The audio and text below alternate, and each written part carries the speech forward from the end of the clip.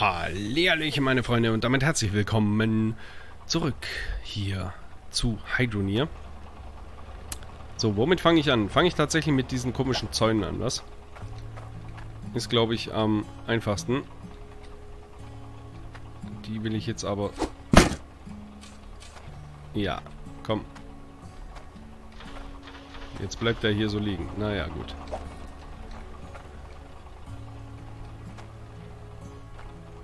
Mal sehen, ob ich das nochmal reproduzieren kann. Tatsächlich. Naja, so ist natürlich... Ähm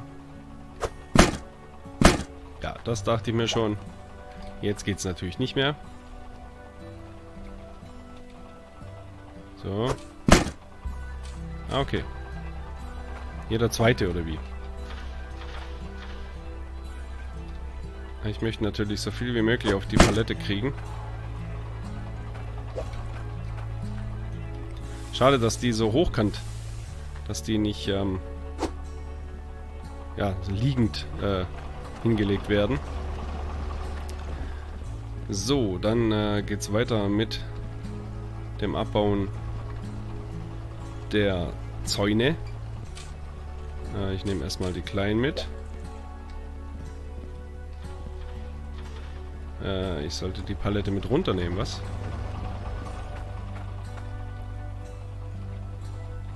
Sonst dauert das hier so lang.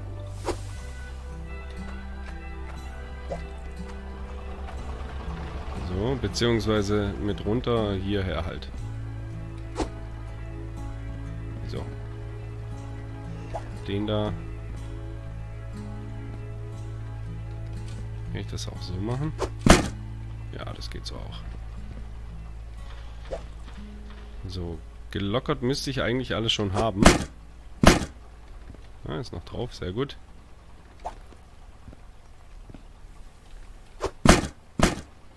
Ist nicht drauf. Gefällt mir nicht. Hä? Hä? Äh.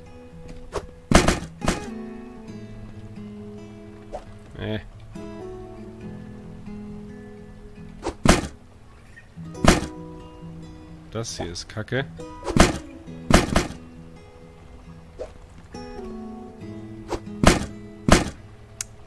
Warum fällst du nicht in die andere Hä? Richtung? Hä? Fall doch einfach in die andere Richtung, Mann. Ja, so. Ist jetzt aber auch kacke. Ah, naja, so geht's. So, hier sind alle weg. Dann geht's hier weiter. Oh, die habe ich noch nicht losgemacht. Beziehungsweise das eine habe ich noch nicht losgemacht. Ja, egal.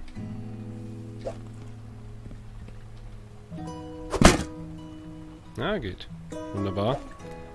Natürlich so vollstopfen wie, wie irgend möglich.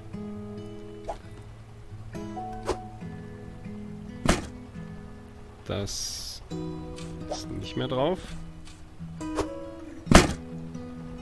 Ist das noch drauf? Ja, ist glaube ich noch drauf. Okay, ich glaube dann fahre ich mal die erste Lage weg. Bäh. Riesenruckler. So. Vollgetankt ist. Oh, Bäume haben jetzt doch ein Kollisionsmodell. Hm, war doch, war doch gar nicht so. Jetzt auf einmal kann man nicht mehr durch die Bäume durchfahren. Dank einem neuen Update. Aber mir ist lieber, ich kann nicht durch die Bäume durchfahren, anstatt dass äh, mein Auto sich überschlägt, katapultiert und ich selber irgendwie durch die Map durchfall. Durchfall? Hä, Durchfall gesagt. Ähm, durch die Map hindurchfalle und dann unten in der Map da rumkrauchel, wie, wie schon mal geschehen. Also dann doch lieber so. Und äh, El Sonno geht schon wieder unter. Ah, Mann, bremst doch. Also die Bremsen von der Karre sind echt kacke. So. Einmal Palette raus. Und das Zeug hierher gestapelt.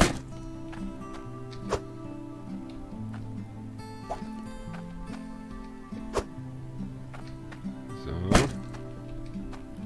Dann haben wir hier unseren unseren Barrierehaufen, unseren Zaunhaufen. Und es wird schon wieder dunkel und ihr seht gleich wieder nichts. Obwohl ich Gamma ja schon ziemlich hoch geregelt habe. Aber das ist halt trotzdem noch sehr dunkel. Ja, und das ist halt hier mit dem OBS, das ist halt echt praktisch. Weil im OBS ist das auch deutlich dunkler. Und da sehe ich dann, ob ihr gerade noch was sehen könnt oder schon nicht mehr. Das ist ganz gut. Dann weiß ich zum Beispiel in Spielen, wo es Dunkelheit und Licht gibt oder so, dass ich da dann irgendwie Taschenlampe anmachen sollte. Wenn ich natürlich dran denke. Was hier auch nicht immer vorkommt. So, da haben wir schon mal einen richtig schönen ähm, ja, Zaun, keine Ahnung. Hä? Zaunhaufen. Barrierenhaufen.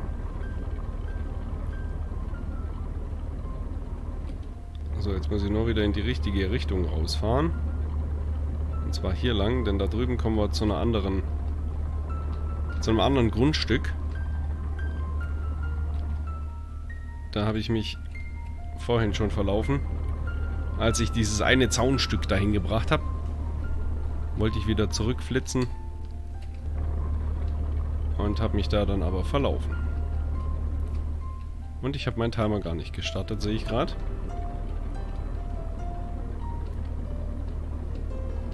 Naja, dann wird die Folge halt wieder ein bisschen länger. Ist ja auch nicht so schlimm. So. Ach ja, ich freue mich schon auf meinen neuen Job. Den ich... Bäh ab dem 1. September ausüben darf. Aber komm, ich bleib hier stehen. In meiner alten Firma, wo ich schon früher war, wo ich fünf Jahre gearbeitet habe, bevor ich in die jetzige Firma gewechselt habe. Denn, ja, man kennt es ja. Das Gras auf der anderen Seite ist immer grüner. Und da war es dann halt einfach mal Zeit für einen Tapetenwechsel. Und ja. Jetzt, dank Wirtschaftskrise und Corona, also nicht bei uns im Betrieb, aber Schließungen in anderen Betrieben und Kurzarbeit in anderen Betrieben und so weiter, ähm, erschweren uns in der Firma, in der ich jetzt gerade noch bin, äh? Natürlich massiv. Ähm, die ganze Sache. Äh? Naja, schmeiß doch hier hin. So. Denn wir sind äh, so eine Art Zulieferer. Und äh? ja, wenn die eben keine. Huch. Wenn die eben keine Arbeit mehr haben, dann brauchen die natürlich auch keine Teile. Äh? So. Und dann äh, braucht Hä? die Firma nichts produzieren und dann muss man eben massiv Stellen streichen. Traurig, aber ist nun mal so. So, aber in der neuen Firma, beziehungsweise in der neuen alten Firma, da ist es Gute, da kenne ich ja schon alles. Also da habe ich ja, wie gesagt, fünf Jahre lang gearbeitet gut gearbeitet offensichtlich, sonst hätten sie nicht gleich gesagt, okay, wir stellen dich wieder für ein Jahr ein. Erstmal. Denn ein bisschen Krise ist da halt auch. Da weiß man auch nicht so genau, wie es nächstes Jahr aussieht. Deswegen, ähm, ja. Ist es halt erstmal so, dass ich jetzt erstmal einen Jahresvertrag äh? bekommen habe. Äh? Und dann in einem Jahr sieht man ja weiter. Da ist dann hoffentlich Corona und der ganze Quatsch vorbei und die Krise so ein bisschen die Wirtschaft wieder einigermaßen nicht mehr so am Rumspinnen. Äh? Äh? Äh? Äh? Wo Wo ist das Problem? Hier. So, ich gehe schnell schlafen. Ja, und äh, die Kollegen sind natürlich auch noch alle da in der alten Firma. Die guten Kollegen, mit denen ich mich sehr gut verstanden habe. Und das freut mich umso mehr, dass ich da dann quasi mit meinen alten Kollegen wieder zusammenarbeiten kann. Und ich hoffe mal, ich weiß noch alles. Ansonsten, ja gut, da sind ein paar neue Maschinen dazugekommen und so. Also da wird es dann schon noch Neues ähm, zu lernen geben. Aber so die meisten Sachen weiß ich noch äh, ziemlich gut. Deswegen kann ich da dann auch gleich voll einsteigen.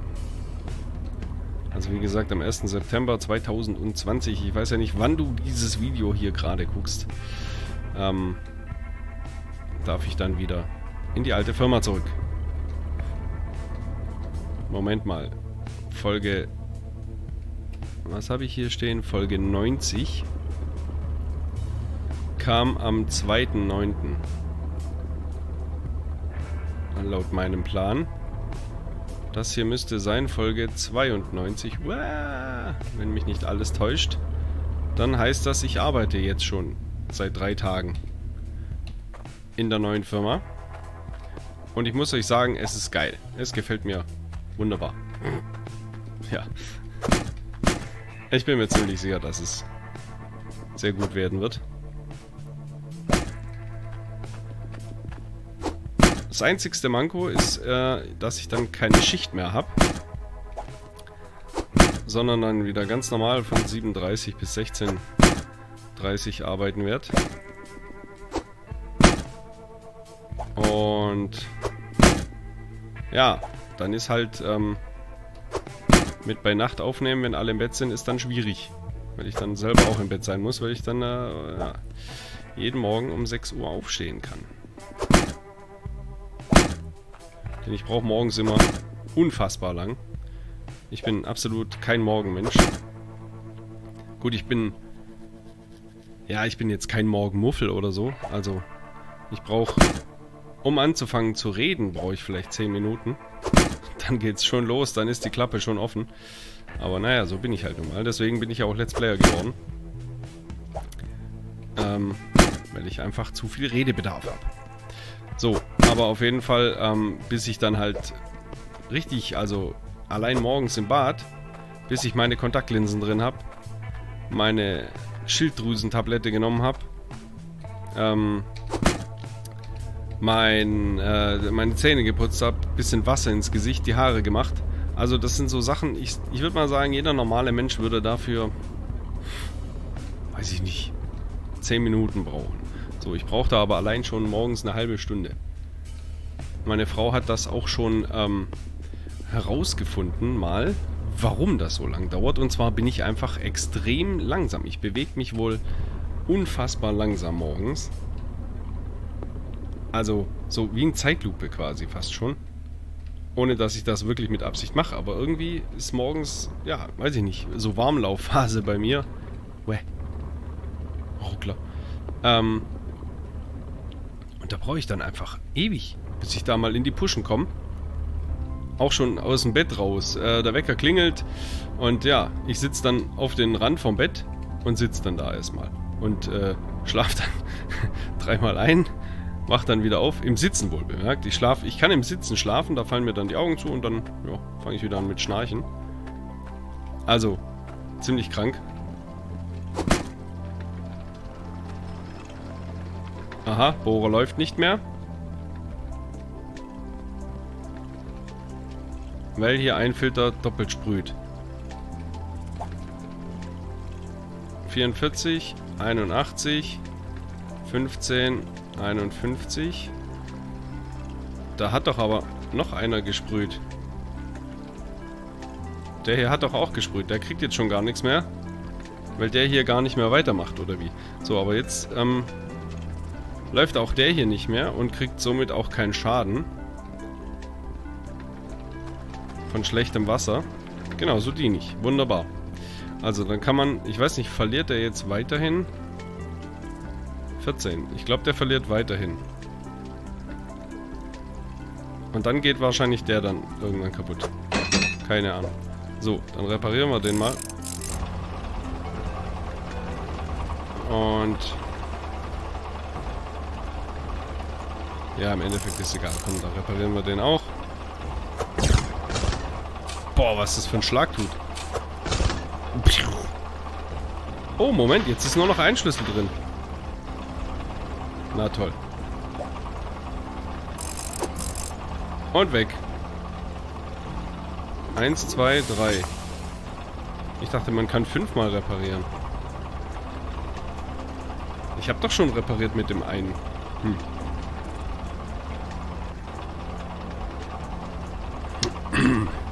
Ah, gerade mal eben einen Schluck genommen. Ah ja, da muss ich mal drauf achten, wie viele Schlüssel da drin sind, wenn wir das kaufen. Gold haben wir noch nicht so viel, Eisen haben wir schon recht viel. Kosten ja irgendwie 220 oder so. So war das irgendwie, diese Reparaturtaschen. Irgendwie so um den Dreh.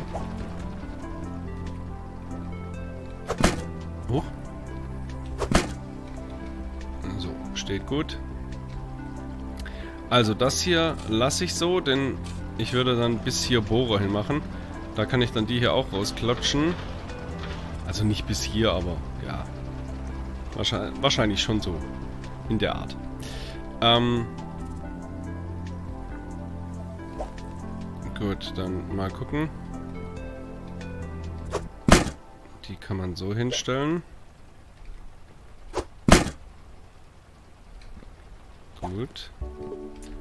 Muss die, die kleinen auch noch irgendwie dazwischen reinbekommen.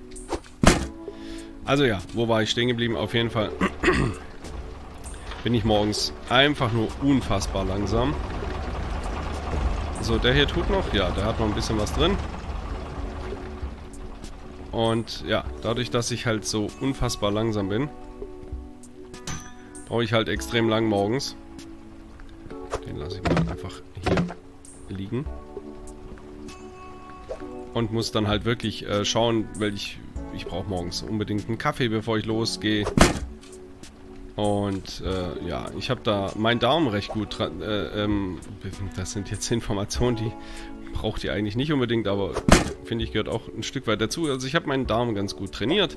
Das heißt, ich trinke morgens einen Kaffee und dann kann ich aufs Klo und dann ist der Tag ähm, quasi toilettenfrei.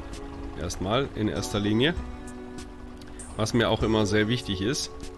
Denn unterwegs irgendwo, ja, das ist immer so. Das ist immer so eine Sache. Man kann ja auch nicht immer dann äh, äh unbedingt gleich direkt aufs Klo oder... Oha, äh, da ist irgendwas komisch. Was ist mit dir? Warum bist du komisch? So. Hey. Ne. Hilfe.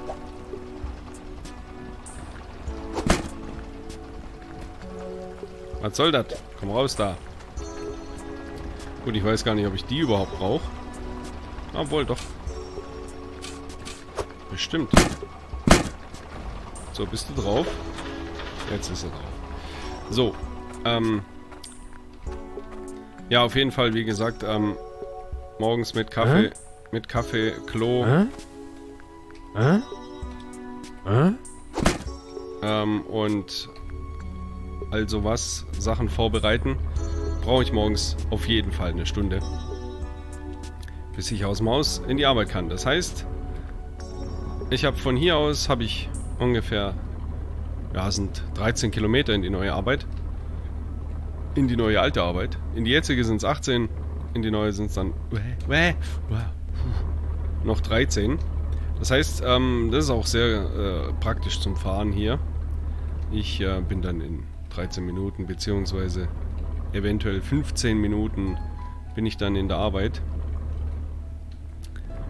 Und ja, trotzdem muss ich eben halt, wie gesagt, eine Stunde vorher aufstehen. Das heißt, wenn ich um 7.30 Uhr anfange, dann fahre ich hier um 7 los, dann habe ich noch ein bisschen Zeit nach oben.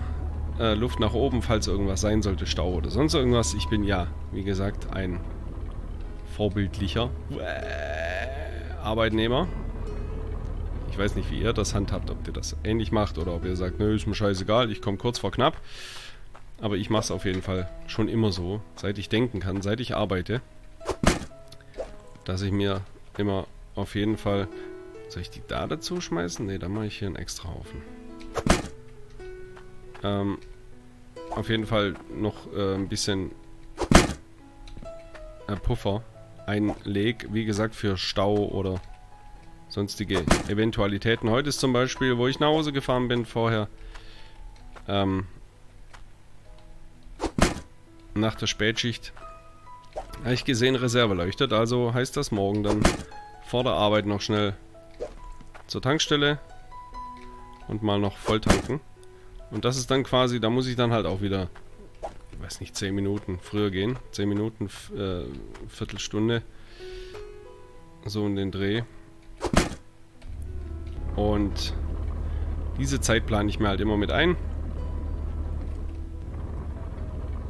Und dann ist halt, ja, um, um halb acht in der Arbeit zu sein, heißt es dann halt um sechs aufstehen. Ist wahrscheinlich bei vielen von euch so, ich weiß nicht. Ähm, auf jeden Fall heißt das dann sechs Stunden Schlaf brauche ich normalerweise schon. Vielleicht wird das im Alter besser, dass ich da dann weniger brauche. Ich habe keine Ahnung. Aber bisher komme ich mit sechs Stunden eigentlich immer ganz gut raus. Also ich bin dann nicht extrem müde. Es ist nämlich auch so, bei mir ist es so ein Phänomen, wenn ich zu viel schlaf, also ich sag mal acht Stunden oder so, je nachdem, wie mich äh, meine Zwerge ausschlafen lassen.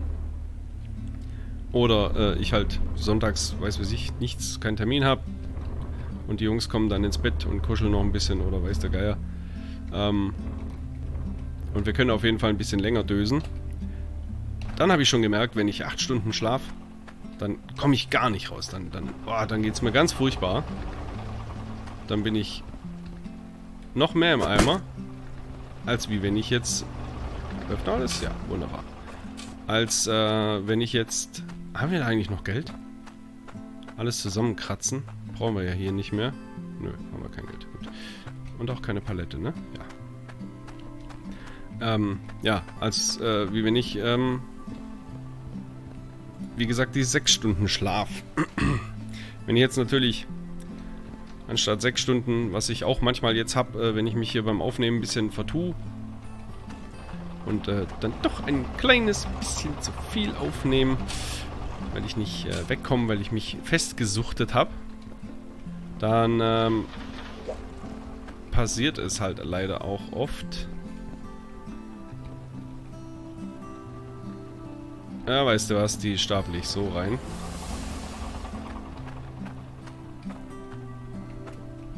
Die brauche ich nicht da unbedingt einzeln. Ähm, ja, da passiert es halt oft, dass ich aus äh, meinen sechs Stunden, dass da dann halt nur noch viereinhalb Stunden werden oder so. Und das ist dann doch ein bisschen zu wenig, da bin ich dann auch ziemlich im Eimer. Aber so sechs Stunden habe ich für mich rausgefunden, ist meine optimale Schlafzeit. Da bin ich erholt. Ähm, gut, dann kommt es natürlich noch drauf an. Achso, dass es hier ein zentriertes. Ja gut, die kann ich dann nachher sortieren. Da kommt es dann natürlich immer drauf an, wie ich dann meinen Tag verbringe nach sechs Stunden Schlaf. Ob ich dann, ähm, keine Ahnung, acht Stunden voll hart arbeite dann bin ich äh, abends ziemlich im Eimer. Oder aber ob ich jetzt ähm, sechs Stunden halt, ja, Wochenende oder Urlaub mäßig so unterwegs bin, dann äh, muss ich nur schauen, dass ich genug Kaffee bekomme. Aber dann bin ich abends jetzt nicht so groggy, dass ich dann abends nicht noch, äh, ja, nach hinten raus noch recht viel aufnehmen könnte. Aber wie gesagt, ich habe da halt für mich meine sechs Stunden gefunden. Und die brauche ich halt schon. Und das heißt, ich muss dann um 12 ins Bett. Spätestens. Wenn ich um 6 wieder raus will. Soll, muss, kann. Ähm. Nehme ich die auch schon? Ja, komm, ich nehme die auch schon. Und ja, bis um 12. Ähm, es ist ja so, ich nehme ja hier tatsächlich nur auf, wenn wirklich alle im Bett sind. Das heißt, Frau im Bett und beide Jungs im Bett. Und denn ich, ich erstens will ich natürlich ähm, nicht meine Familienzeit opfern fürs ähm, Let's Playen bzw. fürs Zocken. Dass ich jetzt sage, nein, äh, die Kinder sind mir völlig egal. Ich ähm, sitze jetzt hier hin und spiele jetzt. Und Kinder, macht was ihr wollt. Nee, also, ähm, da soll schon noch Familienzeit sein. Ich, die, die bin ich schuldig. Nicht nur mir, sondern auch eben meiner Familie. Das, ähm, ja. Das und täglich Folgen rausbringen, beziehungsweise ich habe ja früher teilweise drei Folgen an einem Tag rausgehauen. Drei verschiedene Let's Plays. Das ist dann schon ziemlich ähm, knackiger Zeitplan. Ich meine, äh, ja, zocken, Let's Playen ist jetzt ähm, keine Arbeit für mich. Echt nicht. Das ist Spaß. Das, äh, und vor allem das, auch das Quatschen und so. Das ist genau meine Welt. Deswegen bin ich, was ich bin. Aber ähm, dann da halt den, den Spagat zu finden ähm, zwischen Familie, Schlaf und Let's Playen ist äh, schwierig. Dann ähm, ist es jetzt gerade sehr heiß im Sommer, dann äh, haben wir einen, einen, schönen kleinen Pool, wo ich äh, dann auch gern mal mich abkühl und so. Also das gehört dann natürlich zur Familienzeit dazu, aber ja, also da gibt es dann auch noch Dinge. So, dann ähm, der Ausbau, der Studioausbau. Studio AK Kinderzimmer. Ähm, wo ist der Hammer? Ich habe doch den hier irgendwo hingeschmissen, da unten. Der, ähm, ja, läuft ja auch noch meistens samstags. Und, ja, muss auch noch irgendwo untergebracht werden. Denn wenn ich samstags, ähm, Studioausbau weitermache, dann bin ich samstags nachts ziemlich fertig, ziemlich im Eimer. Und da ist dann meistens nicht mehr arg viel mit aufnehmen. Weil ich dann einfach zu müde bin und ähm, ja, Qualität ist mir wichtig. Und ich finde Folgen, wenn ich sie durchskipp, wo ich ab und zu äh, laut ins Mikro gähn oder irgendwie schon anfange komisch in der Gegend rumzulaufen oder so, nichts mehr zu sagen, die maden mich sehr an. Die finde ich furchtbar. Aber ja. Ist halt nicht alles Gold, was man scheißt. So nach dem Motto. Aber ich versuche, dass 99% von dem, was ich scheiß, Gold ist. Also, ja, so ungefähr kann man es ausdrücken. Deswegen will ich das Qualitätsniveau sehr hoch halten auf meinem Kanal. Deswegen und weil es halt auf YouTube genug Dinge gibt, die qualitativ minderwertig sind. Unterste Schublade. Deswegen sehr viel mittlerweile sogar leider. Deswegen versuche ich meine Qualität so hoch wie möglich zu halten. Und deswegen nehme ich nicht auf, wenn ich komplett im Eimer bin, weil ich weiß, dass es dann eine eine müde Schlaffolge wird und das muss nicht sein. Aber wie gesagt, samstags, wenn ich dann in meinem Ausbau am, am Bauen war, dann äh, bin ich meistens so kaputt, dass ich dann merke, ich kann nicht mehr aufnehmen und dann ist der Samstag, die Samstagnacht quasi als Aufnahmezeit schon wieder passé. So, dann Sonntag ist Familienzeit, weitestgehend bis dann eben die Kinder irgendwann im Bett sind. Und dann konnte ich, wenn ich Spätschicht hatte, konnte ich dann Sonntagnacht aufnehmen. So ab, weiß ich nicht, wann geht meine Frau dann ins Bett? Meistens so, so 11, 12 rum. Und dann konnte ich halt immer bis nachts um drei noch aufnehmen, bis, beziehungsweise bis morgens um drei. Hoch der Korken. Ähm, aber das fällt dann weg, weil ich dann ja spätestens auch um 12 im Bett sein muss. Das heißt, irgendwie muss ich es hinbekommen, dass die pünktlich um 11 im Bett ist, dass ich wenigstens von 11 bis um 12 noch aufnehmen kann.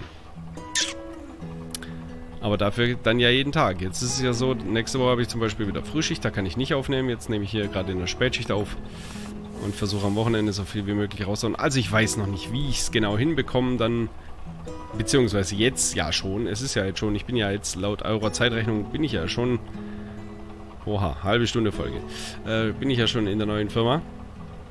Ja, und jetzt habe ich ja noch Folgen. Also, wie gesagt, die Folge 90 kommt am 20, am 2.9., beziehungsweise kam am 2.9.